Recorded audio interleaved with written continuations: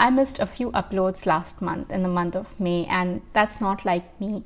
But if you've been watching my videos, you know that I've been feeling creatively stuck, and it was very hard for me to push through those feelings and keep creating when I'm not feeling creative. But the short trip that I took last month, I had some time to think about what I'm doing and how I'm to move forward. If you watched the last video, you know that I have decided to shelve the Rajput for now, set it aside for some time and work on something else and create something just for the joy of it. So I have finally decided to go forward with the story idea I worked on while I was on that trip. And today I'll be working on that story idea a little bit. I've already worked a little bit on the story idea, the character and the character's motivation, what are the conflicts that I can include in that story, the key emotions and uh, theme that I want to go for in my book.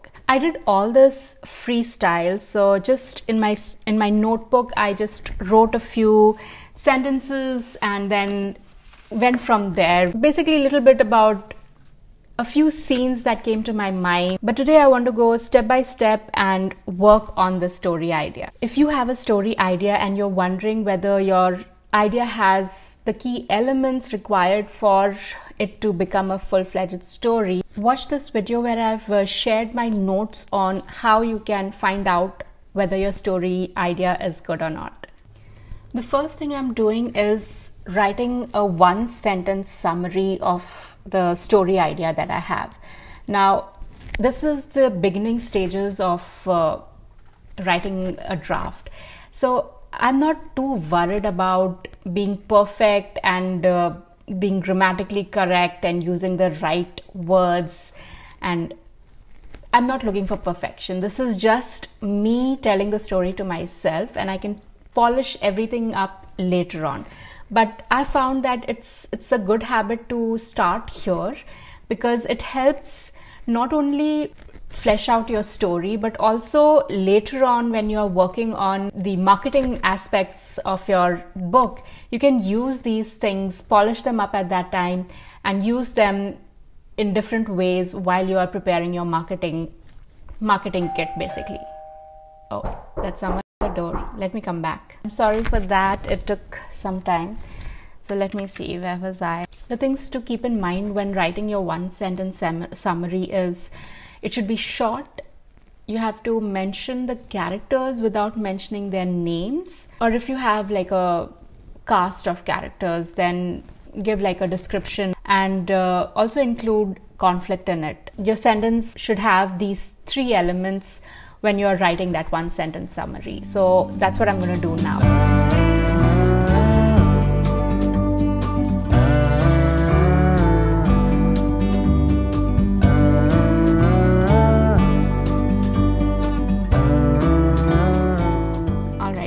Have that now.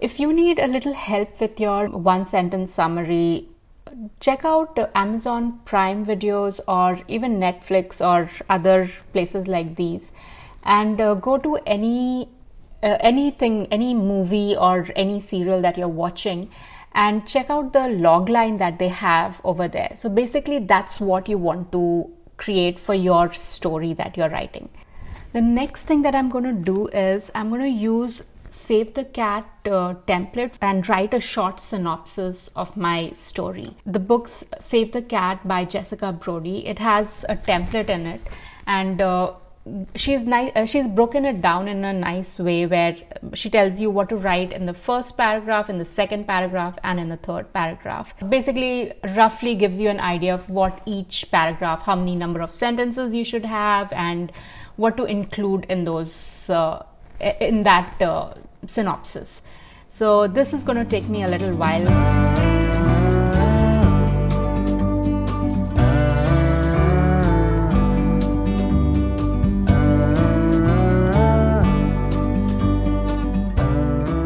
Now I'm not being fussy at this time. I'm not aiming for perfection. I'm going with whatever I'm thinking of and I'm just writing it down without worrying too much about grammatical stuff and being all rosy and flowery in my words.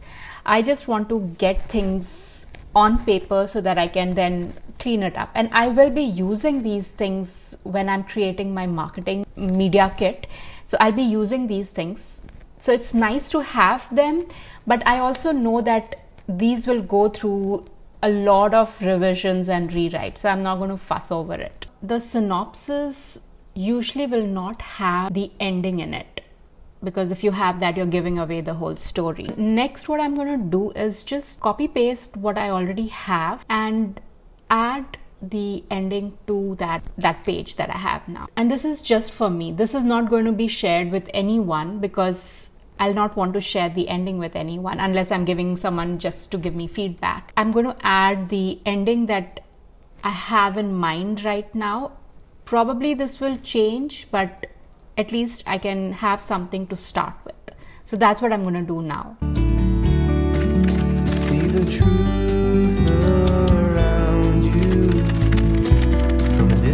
To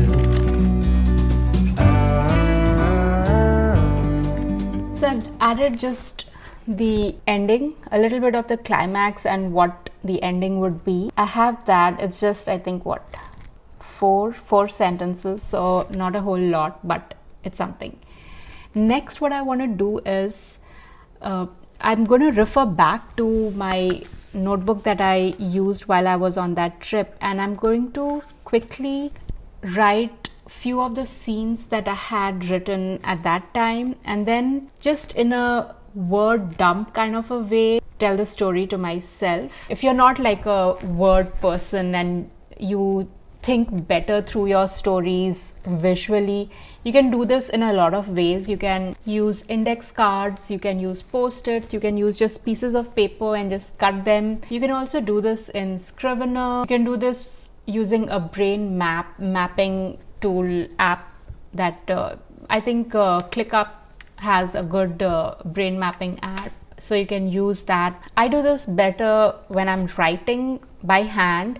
So I'm going to I already have some of uh, my uh, scenes written out, very short, like in a few sentences basically, but I have I think four or five scenes that I could visualize in my head when I when that story idea came to me.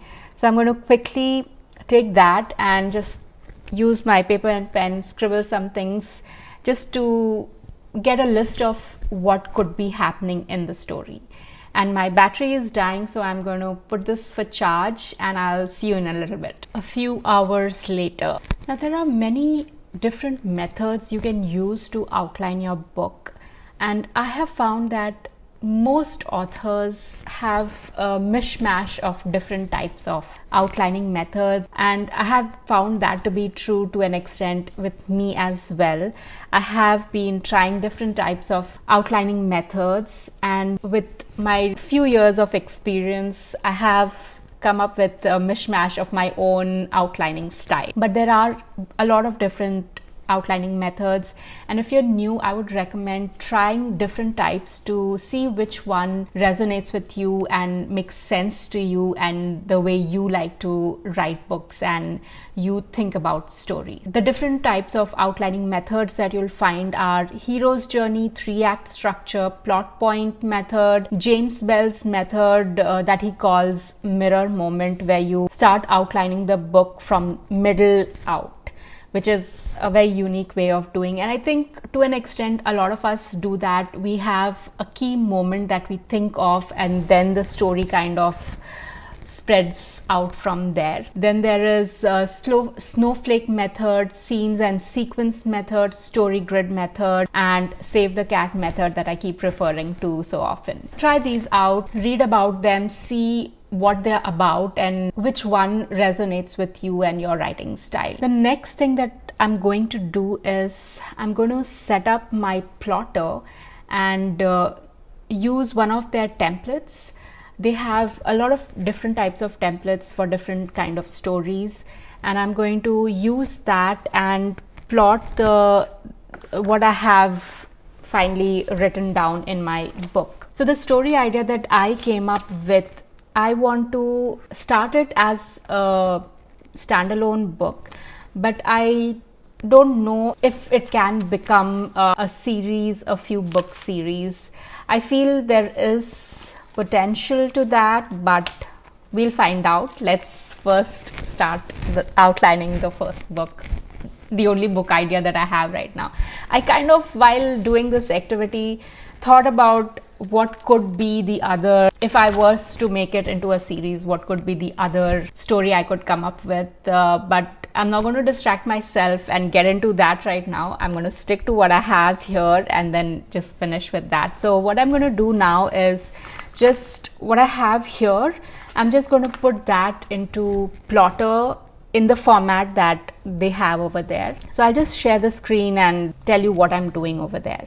This is the Plottr app and I have created a new project. They have many templates to choose from or you can add your own template. What I like to do is start with a template, one of the templates that they have, and then tweak it if I want to. I'm going with Gwen Hayes' Romancing the Beats template.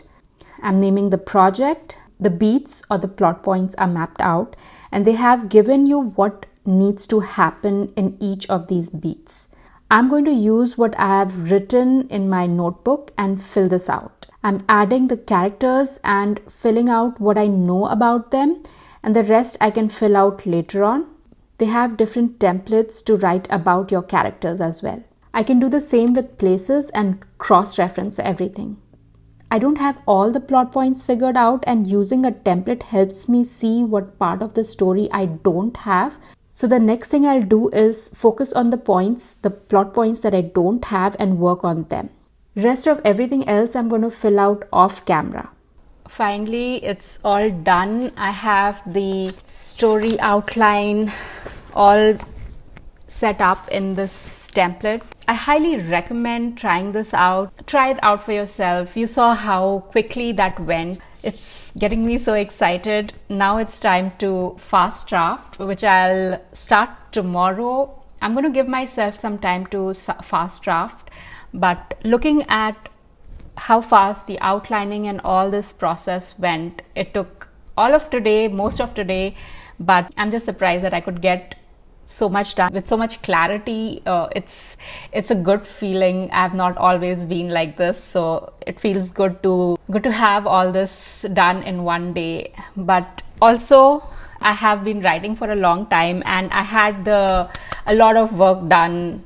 Not a lot of work, but I had quite a few things done beforehand, so it went faster and I've been thinking about the story for a long time. So it went faster. Now, if you are struggling with a story idea, I did a video where I shared a worksheet that you can use with examples from Hindi movies. I'll link that video up here and I'll see you in the next one.